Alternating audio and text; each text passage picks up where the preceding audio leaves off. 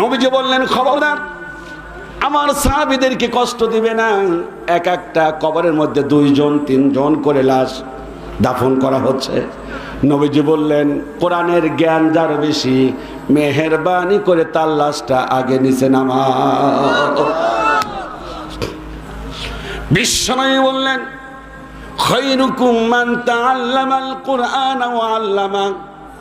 তোমাদের মধ্যে সর্বোত্তম ওই ব্যক্তি যে নিজে কোরআন পড়ে আর যে অন্যকে শিখায়।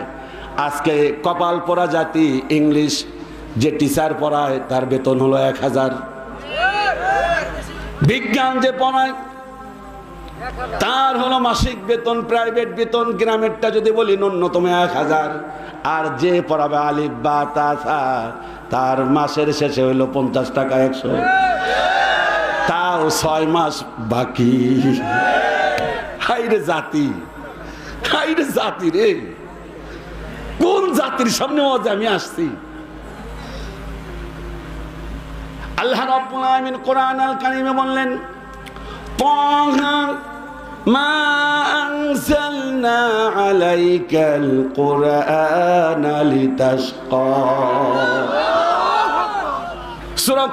দুই নাম্বার আয়াত। এক এবং দুই।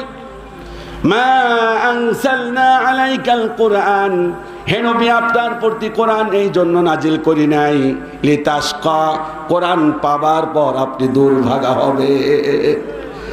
আজকে মুসলমান মার খায়। মুসলমানের কাছে কোরআন নাই। আপনি বলবেন, হুজুর, আপনার সাথে আমি একমত না।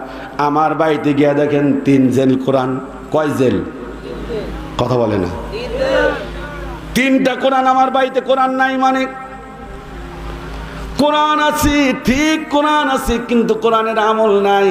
কোরআন আছে, ঠিক, কিন্তু ওই বাড়িতে সুদ আছে, ঘুষ আছে, জেনায় আছে, ব্যবচার আছে, ওই বাড়িতে বেপর্দা আছে, কোরআন আছে, ঠিক, কোরআনের কোনো বিধান বাড়ির মধ্যে নাই। আর মুসলমান, কথা বলেন ঠিক কিনা? বোঝার চেষ্টা করেন, সহজ ভাষায়, সাবলীল ভাষায়। আমি আগেই পরিচয় দিয়েছি, আমি পেশাগতভাবে একজন টিচার এখানে আসার সুযোগ হতো না। এই লম্বা লাইনে, লম্বা জয়, যে জার্নি আমার পক্ষে সম্ভব ছিল না। গতকালকে রাত্রে ছিলাম আমি হলো সন্দীপ। এখান থেকে সাতশো কিলোমিটার দূরে, ছয়শো কিলোমিটার দূরে। সেখান থেকে আমি এখানে আজকে এখানে এসেছি। এখান থেকে আবার কালকে গাজীপুরে আমার বাসার কাছে প্রোগ্রাম